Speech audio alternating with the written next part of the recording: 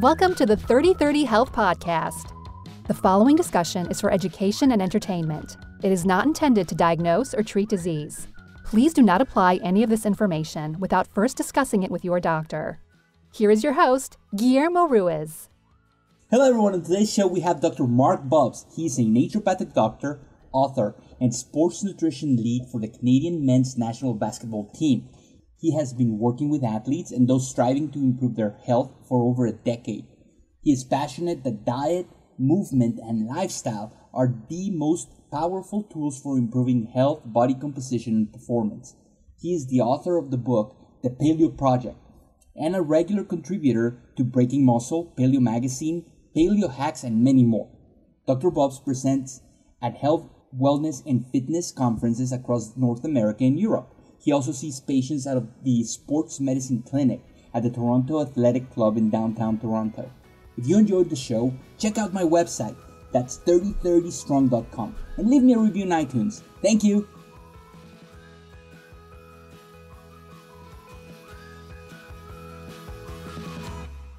Hey everyone, it's Dr. Bubbs here, and he's giving me an interview. So, Dr. Bubbs, how are you doing? Fantastic, Guillermo. How are you doing today? Thanks for having me on. Oh, thanks for coming. Oh, you know, it's it's a nice uh, 70 degrees outside, so it's a little chilly for Arizona. you're, you're, rubbing it in. My well, my sister li- my sister lives out in California, so I know what it's like to get the nice weather all year long. In Toronto, you know, we're we're in the we're in the dead of winter here. We got minus five outside, but bright blue skies. You know, bright blue skies. So we're all good.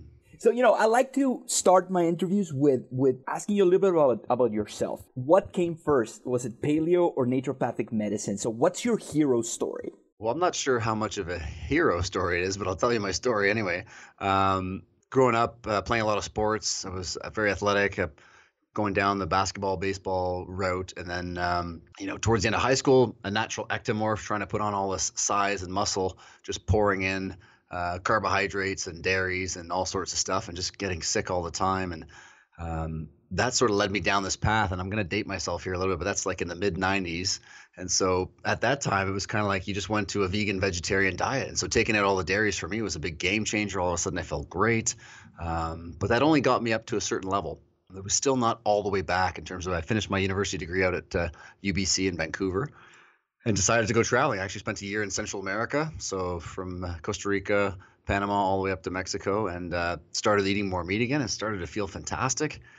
Um, you know, getting up at the same time every day, going to bed about the same time every day, sun exposure every day, getting into the water. So all these things, you know, I'd already decided that I wanted to get into some type of medicine. I wasn't sure uh, which type. I'd originally thought uh, traditional medicine, but uh, after realizing that there's not much time in a visit to the general practitioner to really get a lot done, that's when I decided to kind of take a, you know, do some traveling and see what was out there, and then started to really hit home that you know the, what we're eating, how we move, and all these lifestyle factors just fundamental fundamental impacts on how well we feel and perform. You know, that's that's very interesting because uh, you you probably heard it before that people say, you know. I've been working out all this time and I'm trying to lose weight for a cruise or for a vacation and I had this stubborn five pounds. And then I went to whatever destination and I was, and all of a sudden the weight dropped off. Well, the stress is not there. You're sleeping better. You're enjoying yourself. And all of a sudden everything comes into play and it starts working and now you're losing your weight. So if we could apply those concepts to when we are living our everyday life, then, you know, we would have a little bit better results with diet and exercise. Well, I mean, you hit on a few things there, and one of them is that uh, you know when people go on holiday, they tend to move around more. They're they're taking little trips or walking around more, and so when they're walking around more, what are they not doing? And well, they're not snacking, um, and that's one of the big you know the biggest myths that we have is this idea. If you ask the average person how to lose weight, they're going to tell you, well, I'm, I'm I think I'm supposed to eat multiple meals a day, and I've heard that that increases my metabolism and will help me to lose weight the unfortunate fact, and I've kind of been beating on this a little bit lately, is that that's just not true, right? You read some meta-analyses. There's there's no increase in metabolism. There's no increase uh, in acceleration of weight loss. And what happens is we actually can see an increase in body fat gain because all of a sudden we're snacking. It might start out as a nice protein and fiber snack, but all of a sudden we get a bit busy. Now it's getting to be a bit of a sweeter snack or a granola bar. Um, and it's easy to get into that caloric excess. So it's quite cool. Like you mentioned, people go on holiday, they kind of get back to three square meals. Uh, someone's doing the cooking for them. So all of a sudden they're eating real food for breakfast, uh, lunch, and dinner. So, Yeah, getting back to basics is a big one, and I think for me, uh, for the average person, that idea of snacking and hyperpalatability of foods, you know, as you would know, Dr. Stefan Guyenet is a real uh, yep. leader in obesity research, and this idea around just how our brains are really addicted, and it's tough for them to to stray away from uh, packaged foods and things that are really palatable. You know, I have a recipe on my blog uh, for chicken salad, and it should have a caution because once you start eating it, you can't stop. And it, it, and if you take a chicken, okay, and boil it and then cut it into pieces, could you eat the whole chicken? Probably not. Could you eat two cups of mayonnaise? No, probably not. But in, if you mix those together and you add celery and then you add some bacon and then you add cranberries, and the difference between the salad with and without cranberries. You put that little sweetness in there and you can't stop eating it. So this idea of food food palatability and controlling your brain and your satiety is super super important. Yeah, I mean I mean obviously chefs have known this for a while. That's why they have these amazing combinations. But even then in that example, I mean it's a great example. You're dead right. And then even then you're just using cranberries and we think of all the different sweeteners and everything else and literally chemists sitting around trying to figure out what are the things that are most palatable for us. You know, it's no wonder that the poor average person who's trying to get through the day, and this is where I always joke around because clients will come in and they'll say, you know what, I've got a drawer, don't worry, I've got a drawer full of snacks at my desk. And I think, okay, well, you know, they've done some great research. If you have snacks at your desk, the probability of you going for a snack when you're getting a bit hungry mid AM or mid PM is almost 100%, right? Uh, if you have to walk down the hall to the kitchen at your office, then it goes to down to about two thirds to three quarters of the time. And then if you have to get out of the building, walk two blocks over to get your snack, I mean, it goes down to like 20%. So this is where this idea of proximity and setting ourselves up for success is so important. And I think, unfortunately, a lot of workplaces it gets sabotaged by even your coworkers because you know I do lots of talks downtown Toronto here, banks, law firms, and what have you, and and you know people bring in muffins and cookies and all sorts of stuff. So it's it's it's not easy for people to make the right choices when they're the, the wrong choice is so close to them, right? So we got completely out of subject, and you know, I want to, I want to totally ask you uh, for you know because I'm trying to merge the paleo community and the naturopathic community. I think we have so much in common, and we're going towards the same goals. And you talked a little bit about how uh, you you went and traveled and and decided to go into medicine. How did you find paleo? Yeah, sorry, we get sidetracked. Yeah. I love tangents, buddy. So that's good. You're bringing us back. That's I like that. Um, yeah, so then after after getting back from my travels, and this is where you know I lived a year in France and I lived in the UK and just spent some time in Asia, and so this idea of getting back to you know a more ancestral template, reading a lot of Dr. Cordain's work, and of course Robb Wolf's work becoming more popular, and it started to really resonate. And, and to be honest, even getting going through medical school, naturopathic medical school, it it keeps you honest because sometimes when you're learning about herbs and supplements and various things, you naturally want to test them out and try them.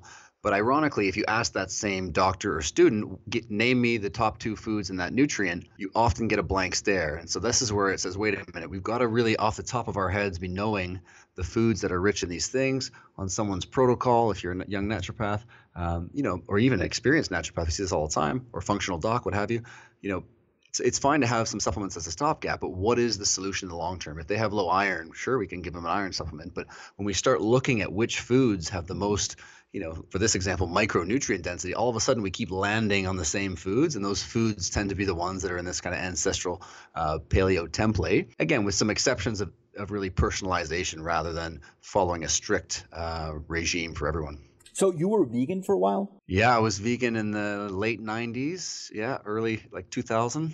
Uh, you know, I can see how any diet, going from a standard American diet or a standard Canadian diet, and then moving into any type of restrictive diet will probably give you good results. Maybe you know you're stu- you you are going away from eating processed foods. You're limiting your sugar intake. But uh, what about athletes? Have you had any trouble? You know, you work with athletes. Have you had any trouble with uh, people that were vegan and they want to perform at, at an Olympic level? Well, I mean, the, the big thing is I try not to use any kind of uh, labels on anything. Everything's a tool. And if you think of everything as a tool, then all you're doing when you have a, an athlete or a client in front of you is trying to figure out, you know, what are the gaps? Where, where are the needs for this person? And if the need happens to be iron and we want to get more iron rich foods and they happen to be animal based, then that would be the first line therapy. Now, if you have someone who's a vegan vegetarian, then maybe that's not an option for them. However, you know, some people are vegan vegetarian for uh, environmental or animal rights or religious reasons. Others are because they think it's making them healthier. And so there's a big, you know, sometimes if the if the diet is making you unhealthy, or you're not as healthy as you could be, this is where this idea of personalization. You know, what if somebody who's on a vegan diet who does eat some meat once in a while, or vice versa, somebody on a paleo diet who have, having some various grains that might work well for them. It's it's finding that last 10 or 15 percent. And so with athletes, it's really just about uh, again the ancestral approach really helps to just bring it back to really getting the foods in that are going to pack a lot of the uh, the micronutrient punch that we need. And then you know after that, you know carbohydrate intake becomes the more elite you get.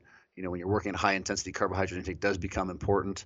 You know there's there's small areas where ketogenic approaches can be helpful for some, but more just in terms of portions of their training if they're really really at an elite level because we, we don't have enough evidence yet for uh, as, as a, a, full stop approach for, for really high performance and even with uh, with athletic performance you know the diet for that athlete is going to change whether they're in season or out of season. Well that's just it. I mean this idea any athlete will tell you they change their training uh, day to day week to week month to month. They periodize their training.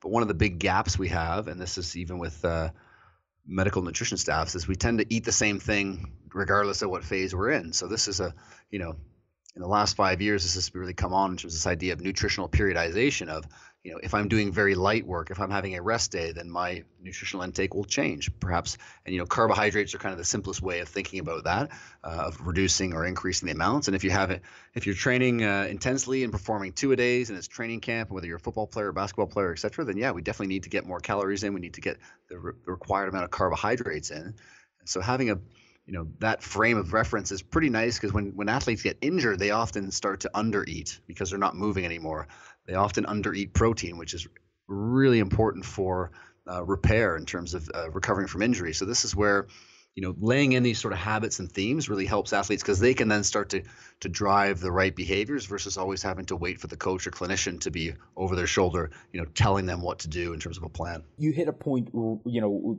with protein. You know we think oh protein you know we need to build muscle. But protein is in charge of so many things detoxification. Uh, there, it's it's a building block for so many uh, pathways in our in in our physiology. What is you know? There's a lot of controversy on, on how much protein you need per day. W- what are your parameters when it comes to protein and athletes? Yeah, I mean, there's this is where context really matters, and I think this is where people struggle because you'll read an article and it will be an uh, perhaps an endurance athlete or a strength athlete or a regular Joe, let's say, uh, and we start to mix and match the different requirements, and, and that's where some confusion starts in. So protein requirements for athletes, I mean, getting up to like 2.3 grams per kilogram or just over a gram per pound is definitely a, a floor that we we want to achieve. Hmm, um, a floor, not a floor. Yeah, wow. I mean the ceiling. I mean we look at research from Jose Antonio at the International Society of Sport Nutritionists. I mean they've done work with three grams per kilogram over the course of a year, and there's no adverse effects on kidney function. So it really depends on the type of athlete they're working with. Do they require to be a certain body composition? Because if they do, then we do want to get protein up to a certain amount, even upwards of 2.4 grams or more, because we can use that whilst in a caloric restriction to maintain lean muscle mass. So again, you know, it comes back to the sort of needs analysis, but depending on which type of athlete, endurance versus strength, even will will dictate that. And for the average person, I think the it gets a little confusing because there is a wider gap in terms of the amounts of protein we we truly need. But then it becomes a question of if the person who's trying to lose weight is going to eat something, well, then protein's a pretty darn good bet because it does help to increase metabolism. It does help to increase satiety. It's virtually impossible to convert into body fat. Um, you know, we've got studies of bodybuilders consuming 4.4 grams per kilo, which is, you know, they have bodybuilders dropping out of the study because they couldn't eat that much protein. I mean, that tells you how much protein it was. And there's there's virtually no increases in fat mass. So I think for the average person now, with so much information on the internet. It, this is where clinicians and experts and naturopaths and nutritionists and trainers can really help out to, to titrate the information and tailor it because it's it's a bit like the telephone game now where someone reads an article and then by the time they they, re- they recite that information to somebody else there's something that gets lost in translation. So i think that's where we got to be really uh, sharp with tailoring exactly what that individual needs. And then at the same time you know as humans we have biases and and you know like we would we can hear something eh, someone talk or there's an article talking about uh, oh this methylating factors will help you become a better methylator. But that's a u-shaped curve you know? So then if you in, over increase your methylation if you uh, now you're you're putting yourself at a cancer risk and it's probably as bad as being under methylating I mean, you nail it in terms of like when you look at various doctors or researchers who are into various fields of whether it's endurance sport or strength sport, or whether it's a doctor who uh, had a sleep issue when they were younger an autoimmune condition. We, we, we view life through our own lens. Um, and I think that's where it's a nice job to kind of hang out with different groups of people. You mentioned like the ancestral paleo group community, uh, the naturopathic community, the traditional medical community, dietitians, nutritionists, strength coaches. Like you get a different viewpoint every time you start to hang out with different groups of health practitioners.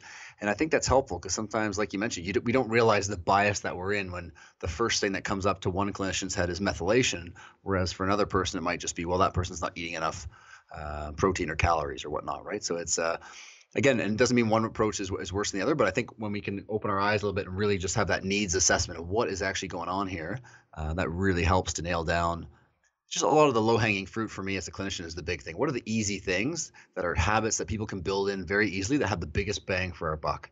You, you might have a gold standard approach that's further down the line, but if you can just drip feed a few things in, get people feeling better, because uh, the buy-in and the relationship is just a huge part of medicine. It's a huge part of of nutrition and building habits. So, what are your biggest needle movers? What are the things that you say, okay, we'll start here because no matter what I do with supplementation, with periodization, if you don't have these basics, those needles are not going to move. Well, for me, it's all about, I mean, it's all about starting small and starting at the, the, start of the day. So people get up. So the first indication will be, you know, I'll, I'll give them something to eat at breakfast and a mid AM snack or take the mid AM snack away. But I'm going to break the day into thirds and start with just breakfast and snack AM and give them a, let's, for example, let's say it's a weight loss client, right? We've got almost three quarters of the population that are overweight or obese. We've got one out of two pre diabetic or diabetic. So the chances are somebody coming into your office are going to be struggling with these issues and start small. Just make them change their breakfast.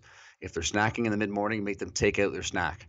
Uh, replace it with things that help to suppress appetite, like a coffee or a tea. And this might seem like, you know, especially when we're starting out, people want to give out a lot of information, or you see this all the time in personal training. We prescribe all these, uh, you know, eight or 10 things. But if you if you push a client beyond their capacity, they're not going to take in the, the suggestions, or they will follow your your your approach, your your handout for a month. But when life gets busy, they'll go back to their own habits, right? Um, and so this has been really helpful for me because what you'll notice is the clients who start to change their breakfast, maybe they come in two weeks later and all of a sudden they've changed their lunch. Mm-hmm.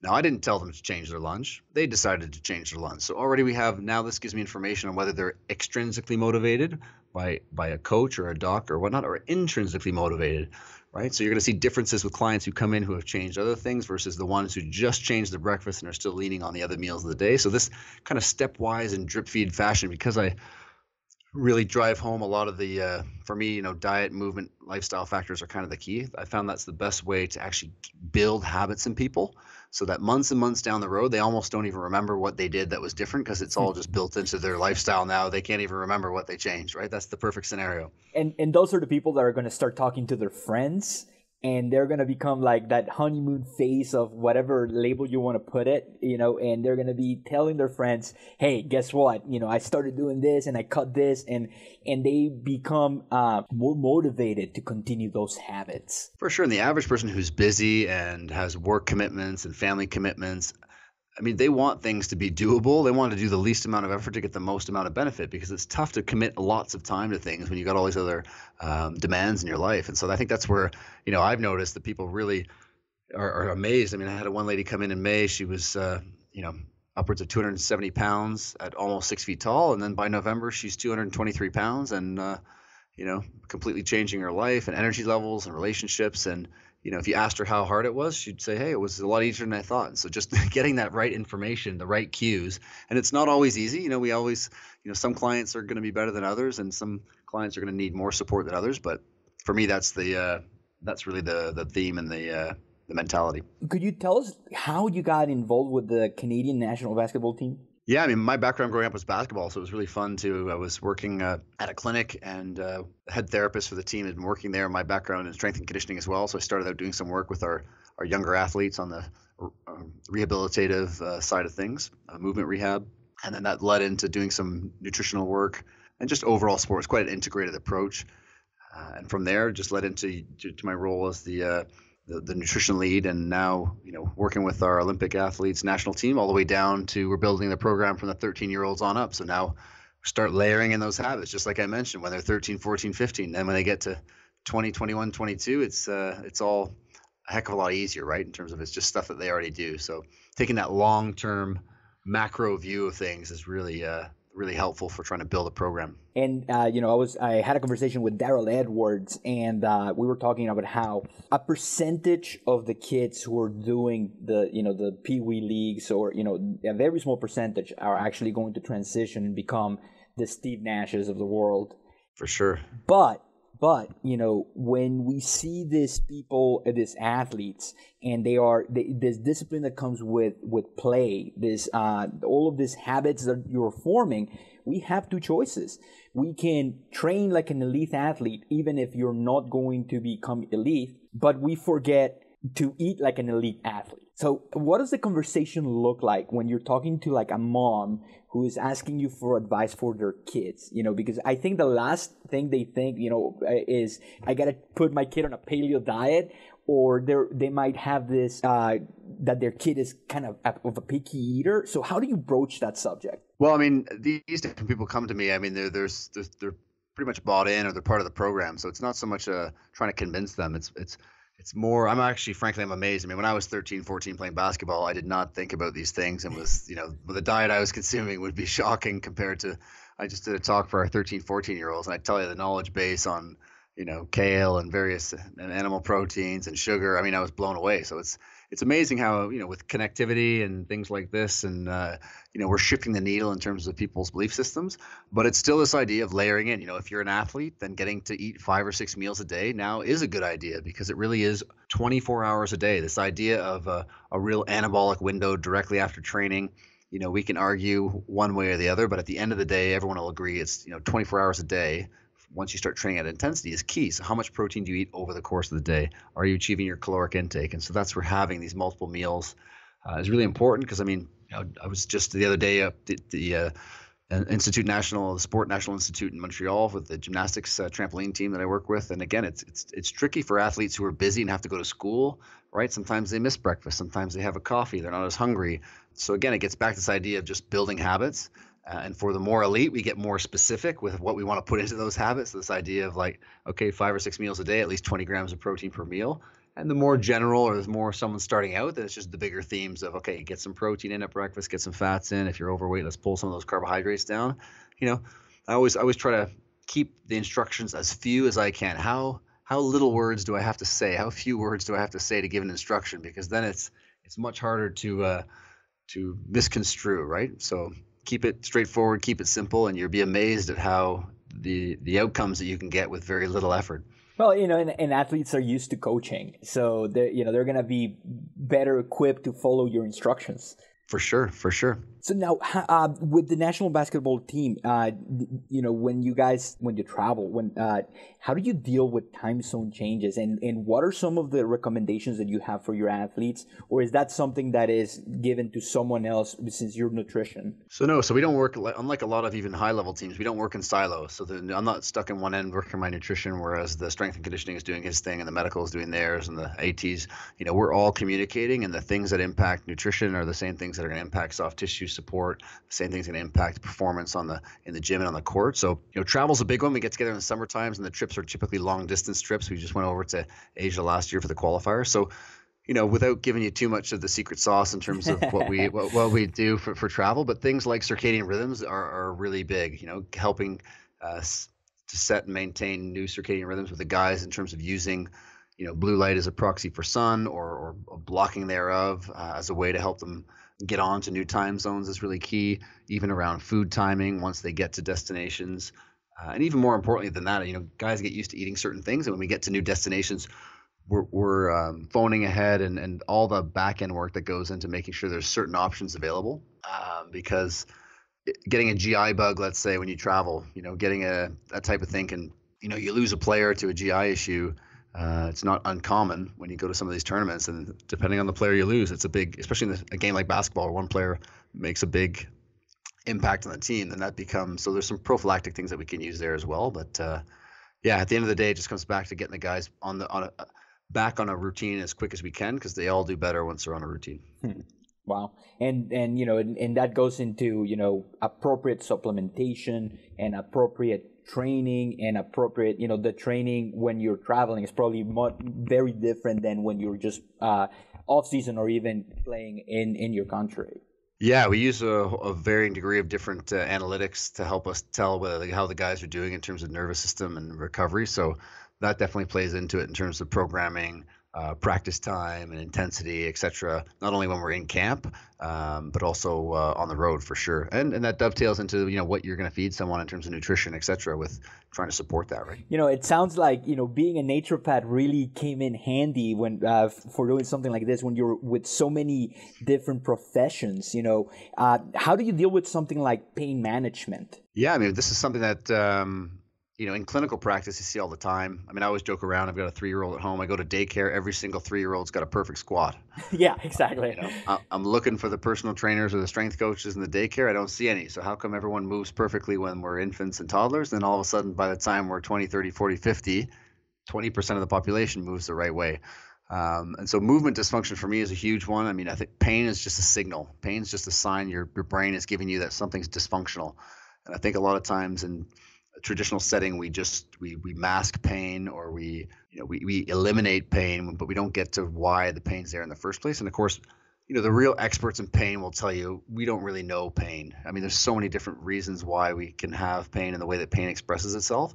Um, but i think that when i work having had the chance and the fortune to good fortune of working with some real uh, elite elite level uh, therapists and practitioners they all have systems right? They all have these baseline systems where they can set a standard and then progress someone through a system with progressions and lateralizations in order to, to move them toward better movement, uh, amongst other things. If it has to be, you know, actual therapy based, but that's a, I think a real important thing for for practitioners who work on the pain side uh, to have incorporated. And of course, as you know, as, as docs, we have a lot of nice tools at our disposal in terms of you know anti-inflammatories, um, things like even sleep, sleep deprivation will, will worsen pain syndrome. So, you know, using the the, the integrative uh, approaches as well as movement based, and then applying. You know, there's times for when you need medication. There's times when, you know, if you're at the elite level, you know, cortisone shots are there for a reason. But if we if we if we just if we're taking those prophylactically or or just as after every single session, then then that's when we know that we're just uh, you know treating the uh, symptoms and not really the root cause. Well, the, uh, just yesterday, I was reading a paper on the new recommendations for chronic pain uh, or acute pain, and no longer are opiates first choice. They are actually recommending yoga, exercise, and acupuncture. And how powerful wow. is that? it's pretty it's, it's funny because i imagine you went back like a thousand years and we would have bought the same three recommendations right? Yeah. We've come, along, we've, we've, we've come a long way. We've, yeah it's, it's like you know what what's old becomes new again. It's the it's the full circle right? And that's uh, it's amazing how once you, yeah working with movement and really getting when people get a sense of how they move and what muscles are, are are doing what in the body. And yeah, if you have a practitioner who knows acupuncture well, it's, it's phenomenal. You can really do a lot of things around. Uh, and I think when clients have a sense that they have a role to play in pain, pain's not just something that's happening to them, but they have. Uh, um, they can have a, a, role in helping to reduce it or find the triggers. That's a really big home run because the ones who feel like they're just at the mercy of pain, that's when you start to see it's it's amazing how the brain's involved. You start to see the pain worsening in terms of the intensity and even the frequency, right? Uh, you know, uh, Keith Norris uh, told me that he believes that we are primary primarily we are movers and we are opportunistic eaters. So you For know, sure. and and we usually you know immediately go to diet. You know, it, it because it, I guess it, it's because something we can do or we can affect. But having good movement is so important for pain. Absolutely. I mean, we get stuck in pattern. I mean, we sit all day now, and we all these things that are just not inherently uh, natural and just if you imagine even the blood sugar dysfunctions we see in that glycation in terms of this just just the, how tissue works i mean that's a you know if you can get somebody's blood sugars and insulin back into balance you all of a sudden you notice movement and discomfort and all sorts of things can improve too right? So you're you're, you're right on. I want to ask you a personal question.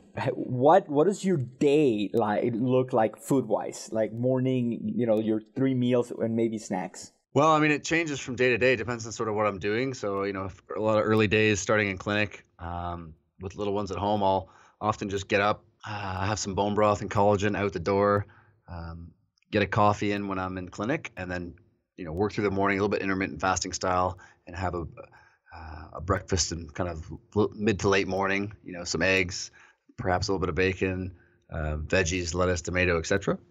Uh, and the days when I'm training, there'll be a little bit more carbohydrates in there as well. If I'm if I'm lifting, then you know oats are a, a go-to for me. They work well. Uh, no. Wait no, a minute, that's no not dysfunction. paleo. yeah, that's okay. That's, there's no there's no paleo police. That's that's fine. It's it's all about individualization. So this is important for people to put their finger on.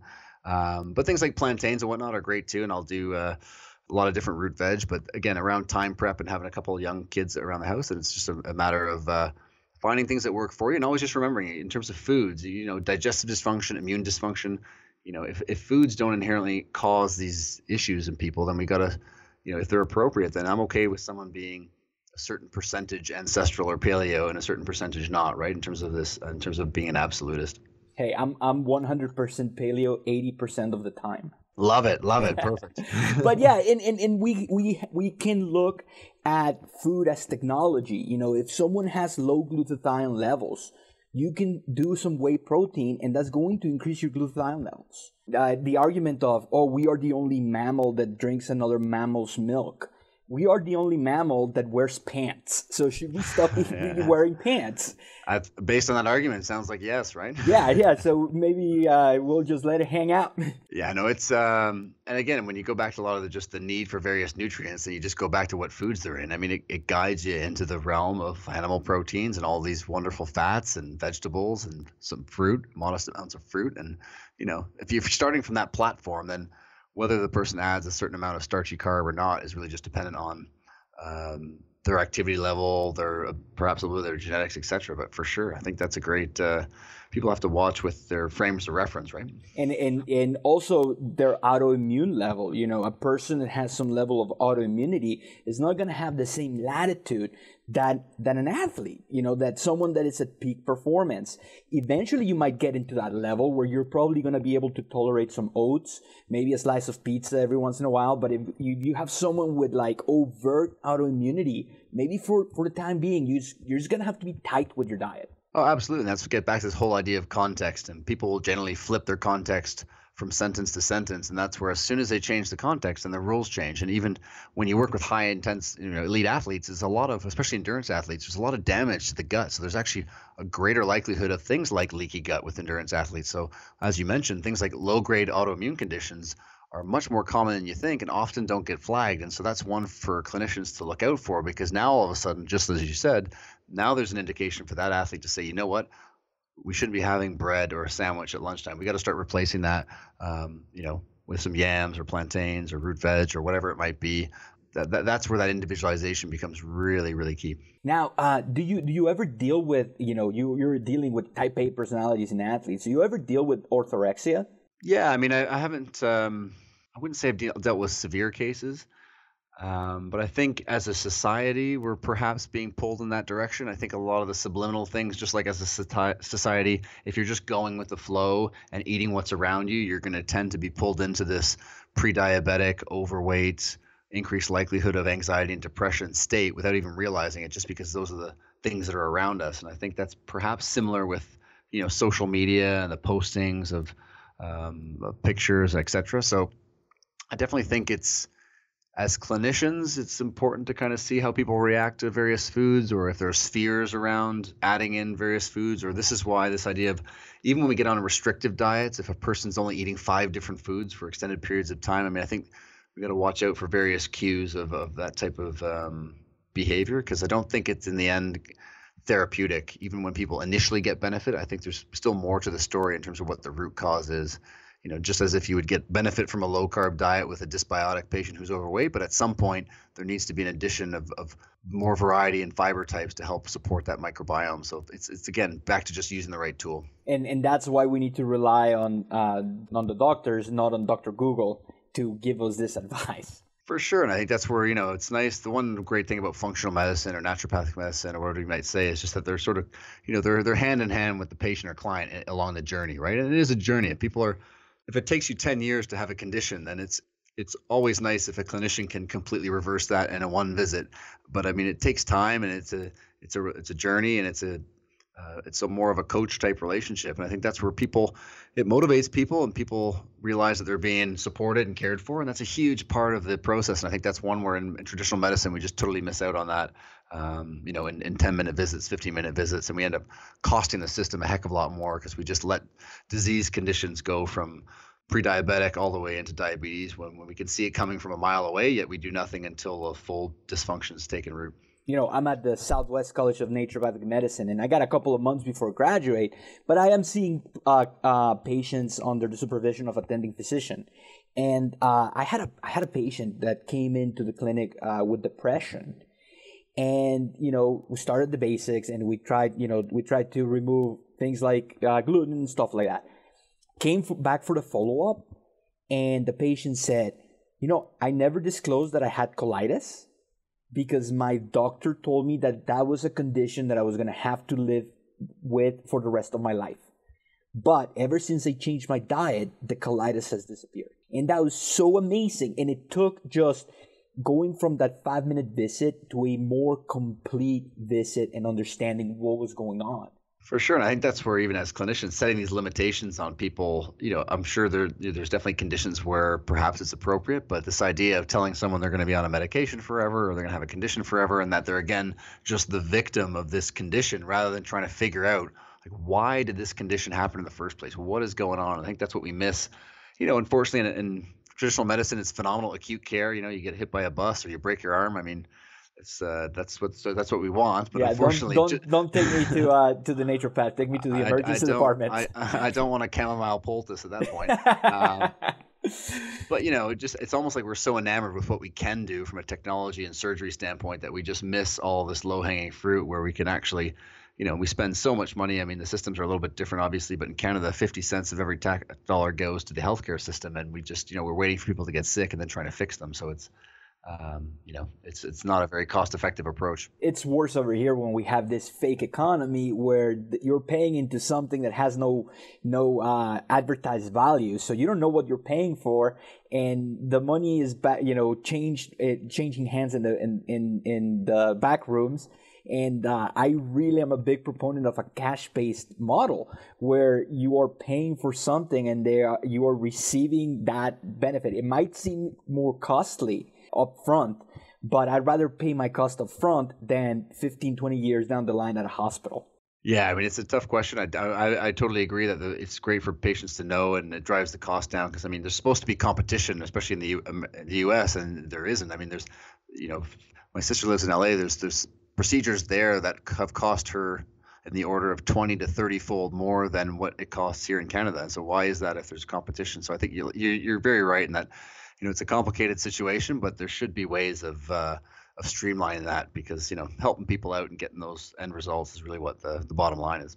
Dr. Bubbs, how can how can people get in contact with you? How you know uh, are you going to be at any conferences or any speaking engagements? Yeah, they can check out my website, drbubbs.com, um, and the, my book, The Paleo Project, paleoprojectbook.com. I've got my list of speaking engagements on there.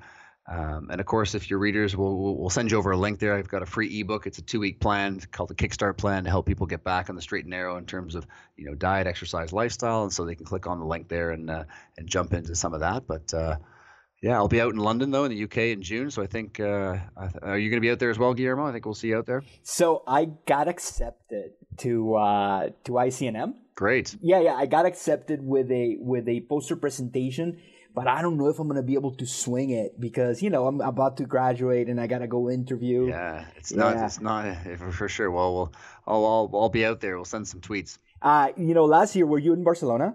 I was supposed to be out in Barcelona, but my daughter was born on exactly oh, the same man. day, so I was uh, I had to cancel last minute, unfortunately. So there's a little bit of there's a little bit of drama there, but uh, they uh, they got it all covered up. So yeah, I got I got I was at Barcelona last year. Are you going to be at PaleoFX? Uh, I may be at PaleoFX. I'm trying to look at my schedule. Uh, I've got some some conferences coming up, so hopefully be able to get down there uh, this year because May and June's pretty pretty busy. But uh, that'd be great. Yeah, always a great time at PaleoFX. And then uh, AHS and uh, later in the year. Yeah. Thank you so much for giving me this interview. you know, go. oh, your podcast. Would you would you like to talk about your podcast? Absolutely. Yeah, we got Dr. Bubbs Performance Podcast. You know, great lineup of guests, PhDs, experts in functional medicine, nutrition, fitness, people we work with in terms of the Olympic um, medical teams, and and whole host of experts. So yeah, definitely check that out right on my website, drbubbs.com. Well, thank you so much, and uh, thanks for the interview. I'll talk to you later. Awesome. Appreciate it, Guillermo. Thanks a lot, bud.